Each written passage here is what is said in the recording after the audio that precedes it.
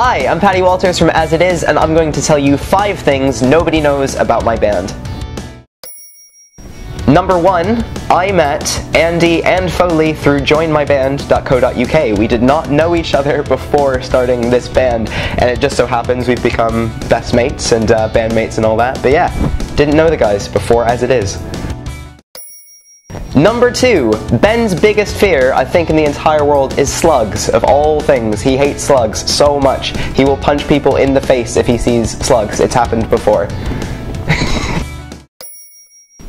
Number three, the first time we toured Europe, our final show was in the Netherlands, and the place we stayed after playing the Netherlands was above a dentist, and we just kind of got to this place. It was a very terrifying looking orthodontist, and we stayed up above it with a bunny that kind of ran free throughout the apartment and ate my phone charger in the night.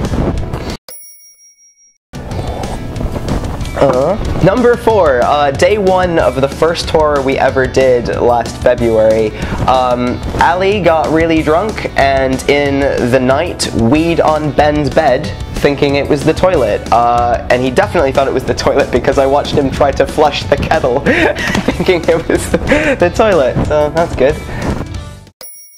And number five, every bit of vocals that I tracked on the album was done in a pitch dark room because it's kind of one of those thought processes that like if you eliminate one of your senses, like the others kind of augment. So that's what I did. It makes me sound like such a diva, but maybe it made the album better, who knows. Ben did not because he is not dedicated to this band enough.